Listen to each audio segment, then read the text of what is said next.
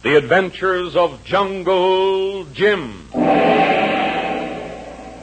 A complete radio episode based on the action pictures and characters of the same name that appear every Sunday in the Comic Weekly. Leading a small group of expert guerrilla fighters against the Japs on the Malayan Peninsula, Jungle Jim was wounded. Though only a flesh wound, lack of proper medicines and food made his condition serious. So Kolu, Sing Lee, and the others staged a daring raid on a Jap supply convoy traveling in native boats up the Sedili River. They obtained the medicine Jim so desperately needed, and under the care of a trustworthy native nurse, his health and strength rapidly returned. But a Jap jungle patrol discovered their hiding place in a limestone cave. Knowing that the odds against them are hopeless, they've dodged from cave to cave for three days, for capture means certain death.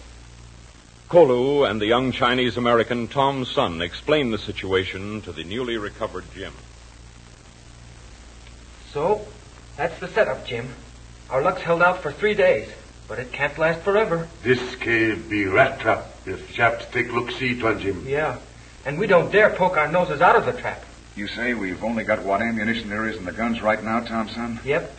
One round in the Tommy gun, one belt for the machine gun, eight shots in Kolu's pistol. Mm, bad one. It isn't good.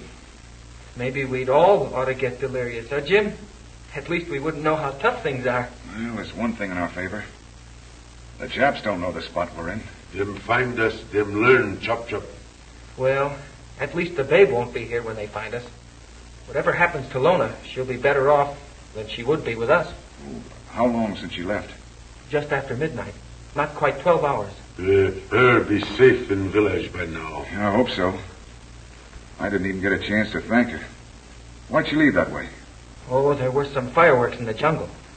Sounded like a hot jam session while it lasted. Lona went with Uncle Sing Lee to see what it was all about. Her say you okay now, Tuan. She go back home. What about Sing? Yeah, that's what I'd like to know. Plenty ammunition with Misha and Australian. If them know where us be. Oh, stop torturing yourself, Kolu. Eh, They don't know where to look for us any more than the Japs do. Well, if our luck holds out for the rest of the day, we might get out of here during the night. no, no, no good, Tuan. No, you're still too weak, Jim. Even without the Japs, that jungle ain't no picnic ground, especially at night. Well, it's a cinch we can't stay here. If only I knew what that shooting was that Sing Lee went to investigate. If only I knew where he was right now. Wait, wait. Huh? Someone coming. Hand me that Tommy gun, Jim. Here. Kolu, are you sure you heard? Yes. Watch the bushes that hide the entrance to this joint. Someone there, all right. Look.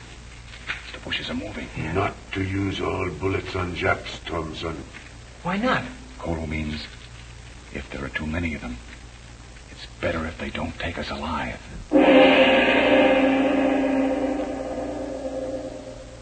Before we rejoin the exciting company of Jungle Jim, I want to tell you of some other exciting companions you can join. I want you to join the 15 million others who find that Sunday morning is adventure time when you read the Comic Weekly. Its brilliant full color pages contain more than two dozen of your favorite features. Features like Flash Gordon, The Lone Ranger, Buzz Sawyer, The Phantom, Prince Valiant, and a score of others equally famous. Features that have made the Comic Weekly America's favorite funnies. It's distributed by 15 of the nation's top notch Sunday papers from coast to coast. One of them brings it to this city. So for exciting Sunday morning reading, look for the figure of Puck and the words The Comic Weekly at the top of the front page. Now back to the Jap infested jungles of Malaya and Jungle Jim.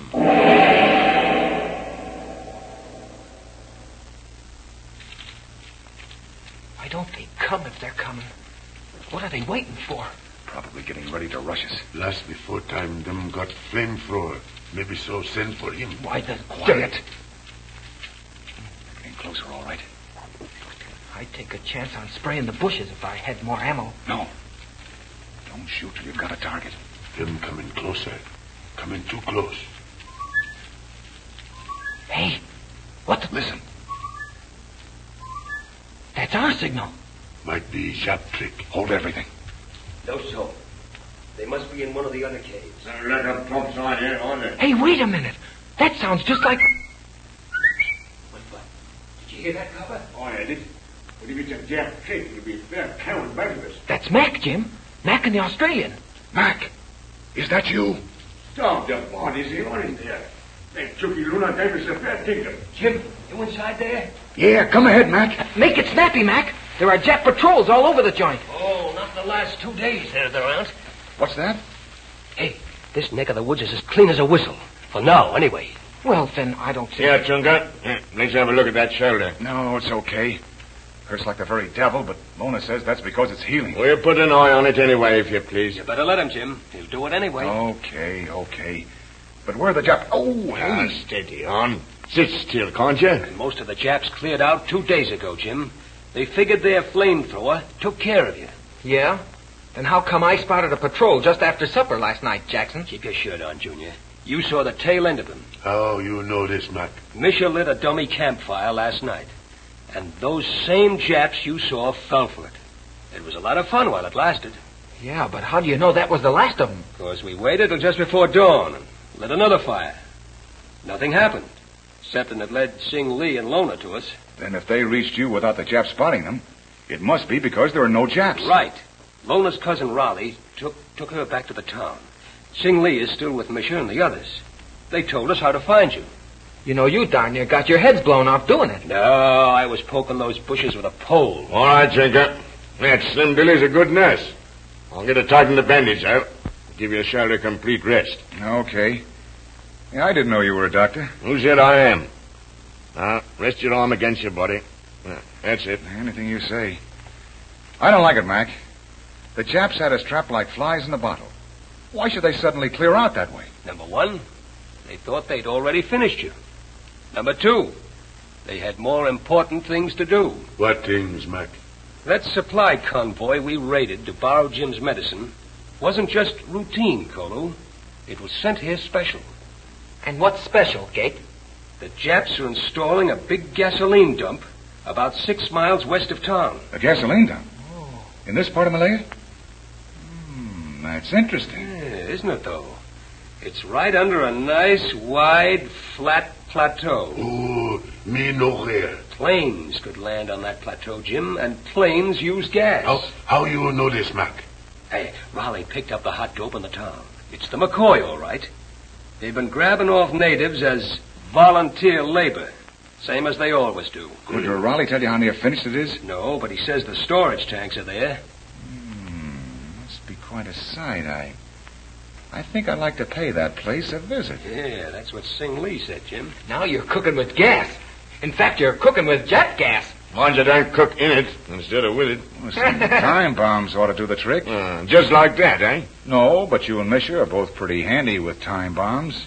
Now, what will the sons of heaven be doing while we're showing them how handy we are? Reading a book, perhaps. Oh, no, no, no. But uh, did you ever see a flock of dogs when another dog barks in the distance? Aye. Up go, go their ears and off they trot to see what's about. Right. Now, the rest of us will give them something to be curious about while you and Misha do your stuff. Well, let's hightail it out of here then. I've been cooked up in this cave for so long that a little action is just what the doctor ordered. Also, I'm looking forward to telling Misha about the fun he missed.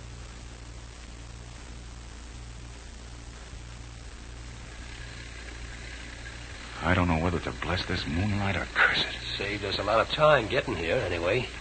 Well, here's the ridge. What do we do now? Wait, wait. You stay here in shadows. Hold these, Thompson. Huh? Hey, what's the Quiet. Keep your voices down. Yeah, but Jim, why should Kolu give me his shoes to hold? Why should he lamb ahead of us, anyway? Listen. Huh? Across the ridge there. The sentry, see him? Yeah. Oh, but Kolu can't. Boy, Wow. ooh, if Kolu ever wants to put on a knife-throwing act in vaudeville, I'd be glad to recommend him.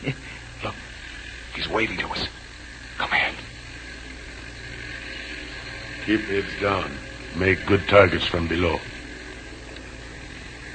Well, look at that, will you? Yeah, aren't they the busy little beavers and sons of beavers? Yeah. Hmm, quite a layout.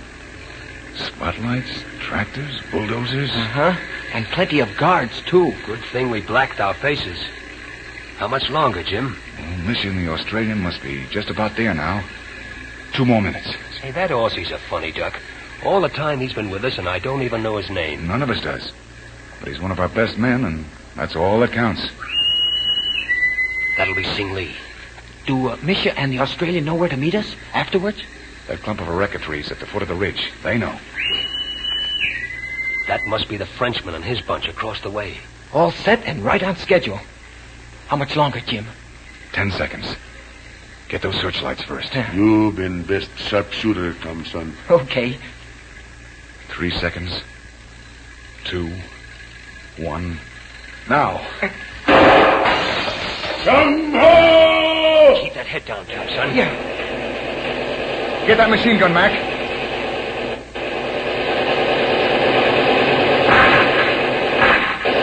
It's working. The sentries are leading the storage tanks.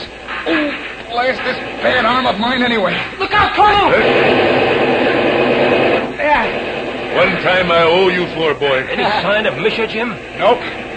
Can't see either one of them. There, sniper, behind tractor, down there. Yeah, I got him. Hey, Jim, look. They're getting ready to use mortars on us. Hold out a few more seconds, Mac.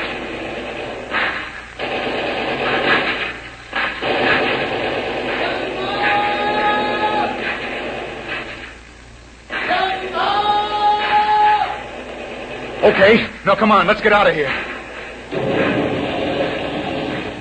Hey, that's mortar shell, all right. Guess we just got out of there in time. There we are.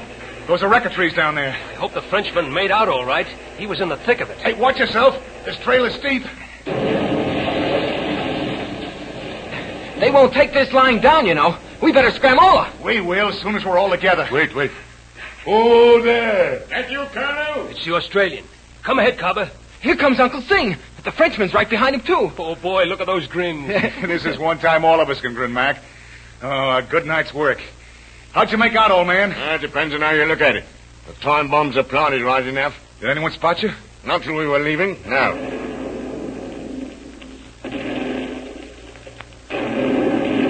Brother, those time bombs really went to town. Well, I suppose that's all that really matters, isn't it? Hey, what's eating you, Cobber? Yeah, we did what we set out to do. What more do you want? I want Misha. I want him here. Safe again. And he never will be. Hey, what are you talking about? What happened? I got him. Right through the back of the head. Just as we were leaving. They. Oh, but. Are you sure? Maybe he was only. Now they got him, I tell you. It was just a lucky shot, but it did its work. Oh, gee. Poor Misha. He was such a... Hang on to yourself, kid. Yeah. We sure lost an awful lot of man when we lost Misha. Thank you.